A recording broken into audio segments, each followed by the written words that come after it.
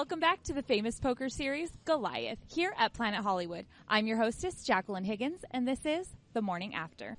Last night, our 500K guaranteed prize pool, Goliath opening event, hit over a million dollars.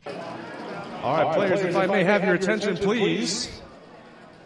We have broken the 1 million prize pool mark, currently over 2,028 players. This means the winning player will take home uh, over $160,000. And the remaining 20, 225 players will be in the money. And now, our boss, Chris Gawlik.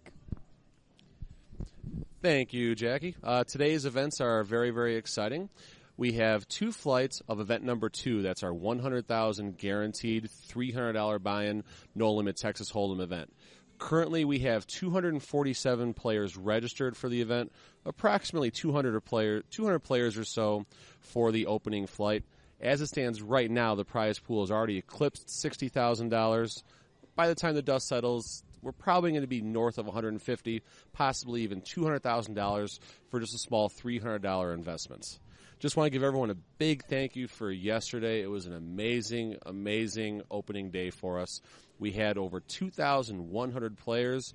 Like Jackie said, over a million dollars in the prize pool, 225 people walking away with some money today. If you sneak into the money, it's over a $1,000 just for uh, playing some poker all day.